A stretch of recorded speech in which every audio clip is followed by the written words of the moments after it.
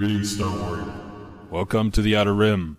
I'm coming in a little late to today's discussion. Um, the first person I saw talking about this was Stephanie Janisek last week, and she left a link on her channel to this article. But since then, I have seen a lot of other people talking about it. I would have gotten to this sooner, but life gets in the way, and today is the day. So, we all know that Colin Trevorrow was fired from directing episode 9 quite a while ago now, but none of us has ever been clear as to why he was fired. Until recently. Now, most of what uh, we're going to be discussing has already been labeled by pretty much everybody as rumor.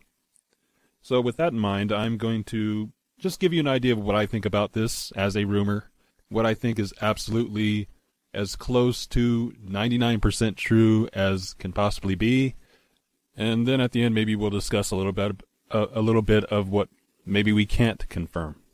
So the title of this article is Star Wars Rumor. Colin Trevorrow's Episode 9 would have been epic. Following J.J. Abrams on Star Wars The Force Awakens and Rian Johnson on Star Wars The Last Jedi, originally Colin Trevorrow was supposed to direct Episode 9.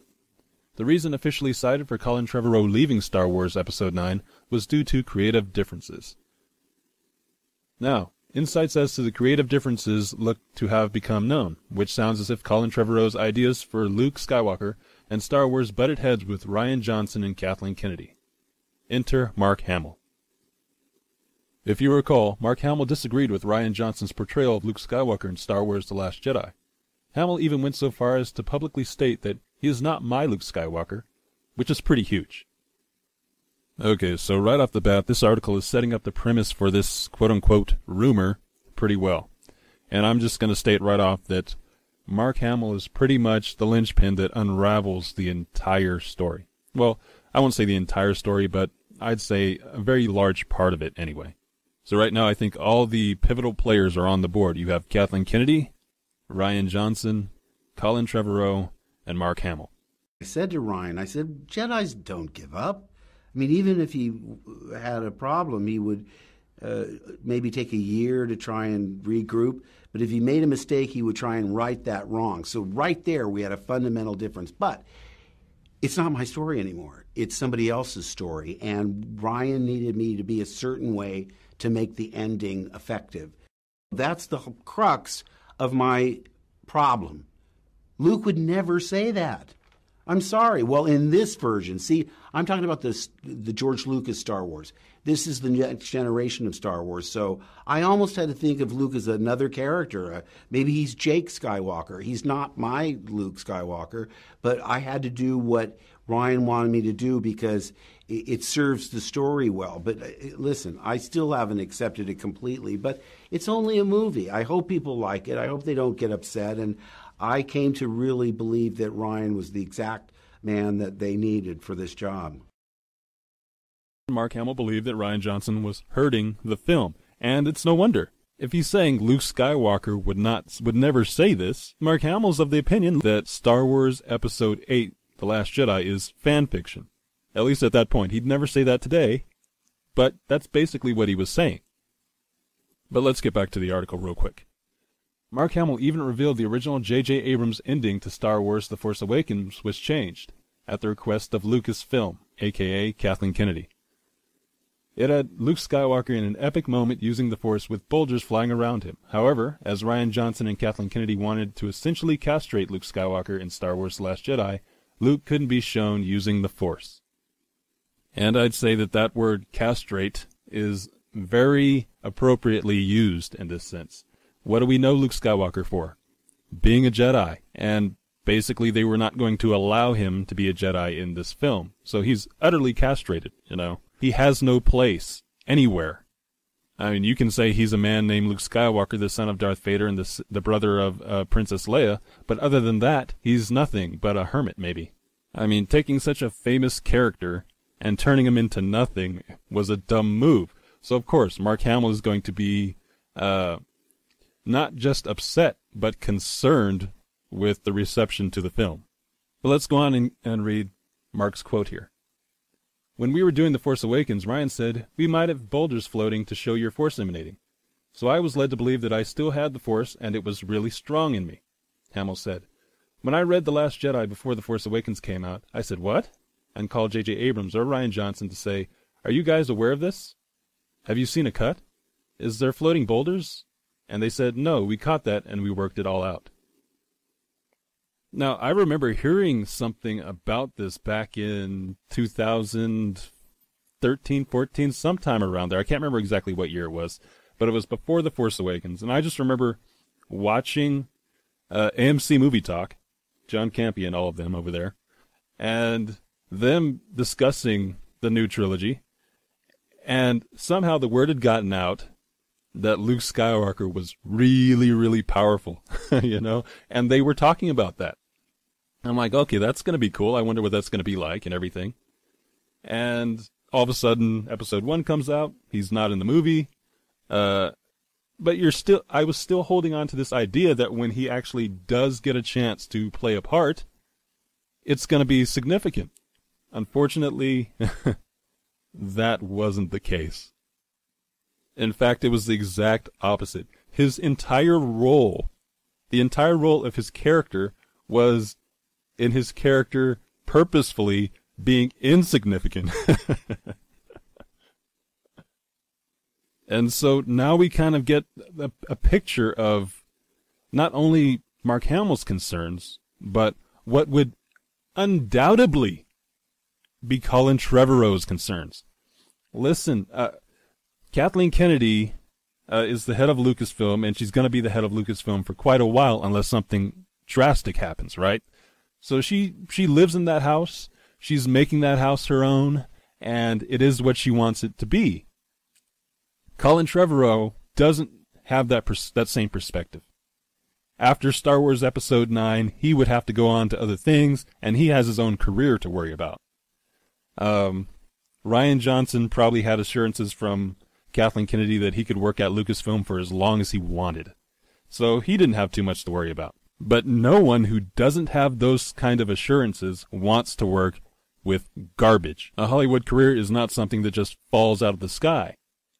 A lot goes into making one. You have to have connections, you have to have skill, you have to have, you know, talent, you have to have all kinds of things, and you have to be a hard worker. To throw that away on the whims of this person, Kathleen Kennedy, and Rian Johnson, uh, I'm of the mind that maybe he wasn't even fired. Maybe he just walked off. But I'm getting a little ahead of, ahead of myself here. Um, so the the article goes on to say, now in an interview with Mark Hamill that has surfaced, Hamill says he was on board with what Colin Trevorrow originally intended to happen with Luke in Episode 9. So no doubt Luke was going to be in Episode 9 as far as Colin Trevorrow was concerned, and Mark Hamill was completely on board with that. Now, he may still be in episode 9, despite what Rian Johnson did with him. So we can't conclude that Colin Trevorrow was fired just because he wanted Mark Hamill in the movie. That's the first point that we can be 100% sure of. So what we can deduce from this is that the only real difference between what Rian Johnson wanted and what Colin Trevorrow wanted was what would be possible with Luke's character. If he's alive, anything is possible that you, you want to do with him. If he's not alive, well, then he can show up as an apparition, and maybe he can, you know, strike a tree with lightning or something like that. The point is, if he's not alive, his role is going to be extremely limited. I don't know what the plans for episode 9 are, but I do know that this current trilogy is a circus, and you can't fix Star Wars with episode 9. Mark goes on to say, the changes in directors have been hard for me because I admire Phil so much, I admire Chris so much, I admire Colin and their body of work. But again, it's got to be real difficult to come to a meeting of minds on something this massive. Uh, I had discussions with Colin, and I was very excited because we were on the same page in terms of uh, where we wanted to go and how we wanted to see Luke in a way we've never seen him, even in in this current uh, version. But I don't know what went on. I don't want to know because there's no upside to that story. I mean, I like all those people. I like Kathy and I like Lawrence Kasdan and all the people that were involved in that decision. But sometimes ignorance is bliss, and they don't tell me anything. Obviously, if Mark Hamill is not on board with what Rian Johnson was doing in Star Wars The Last Jedi with Luke, but did like what Colin Trevorrow, who was removed, was going to do with Luke in Star Wars Episode 9, we can guess that Luke was going to survive The Last Jedi prior to Rian Johnson doing whatever he did, and that it would have been a lot better than what happened with Luke in The Last Jedi. From Mark Hamill offering they changed the ending to Star Wars The Force Awakens, it seems as if Hamill signed on without knowing the whole story. While what Rian Johnson and Kathleen Kennedy did with Luke in Star Wars The Last Jedi was downright awful, on the bright side, at least it got Mark Hamill back together one last time with Carrie Fisher. What a terrible way to get them back together, though. I mean, basically put them out to pasture and call them useless, but they're together while you're saying it about them. I mean, the way they've structured this whole thing around the uh, original three characters. Um, Han Solo dies in, at the end of uh, The Force Awakens. Luke Skywalker dies at the end of The Last Jedi. It's obvious that Carrie Fisher was supposed to have a stupid death at the end of Episode 9. And the, my biggest problem with that is it, it's like you're lining ducks up in a row to shoot them, you know? It's so fake and contrived. You don't have to make me feel like I'm in there watching something that's fake. I, I can't immerse myself into something that is so obviously advertising to me that it is bullshit. Had Luke been able to survive uh, episode 8 and maybe him and Carrie Fisher go out together in episode nine. That would have been more organic, maybe, and I wouldn't have felt like, okay, this is just some systematically uh, put together agenda to discredit the original Star Wars movies, everything that George Lucas did, uh, and crap all over the original characters whom people love so much, probably because they love them so much. Um, and then introduce us to these other people who we're supposed to attach ourselves to just as much. There's more to this article. I'm not going to read it here, but I will leave a link in the description box below. Basically, I'm going to close this out just by saying that what we can be definitely positive of is that Mark Hamill's character Luke Skywalker was supposed to survive into episode 9 as far as Colin Trevorrow wanted. And this is part of the reason why he won't be working on episode 9. I mean, what Rian Johnson and Kathleen Kennedy did was give him a piece of garbage and say, you know, make a billion dollar movie out of this. And he said no. what we can't be sure of is if that was the only thing, if there was more to this. What was done to Luke Skywalker was not an accident. It's not something that just was, you know, by the way, let's do this maybe. It was something like an agenda. We're definitely going to do this. We have to do this. This is what's going to happen. And what seals the deal is the fact that Mark Hamill was on the side of the guy who is no longer on the project. And he was basically against the opinions of the people who remain involved with Star Wars. Now, if Luke Skywalker was a throwaway character that is really kind of unimportant, then I would say, fine, maybe I'm wrong. But since he's never been a throwaway character like Disney would, would have everyone believe that he actually is, he's a monumentally large character. I would go so far as to say that the original three characters were so large that Disney was afraid of them, to tell you the truth. That's the way they behave towards those characters. You don't throw away those characters like so much garbage unless you're afraid of them. And if you're against that and you end up getting pulled off the movie, I don't think we need to speculate as to what happened or why you were pulled off the movie. It's pretty clear. The one thing we can speculate about is whether or not there were other things that were involved alongside this. So, as far as I'm concerned, this isn't much of a rumor. I would say it's probably 99% true. But tell me what you guys think in the discussion below.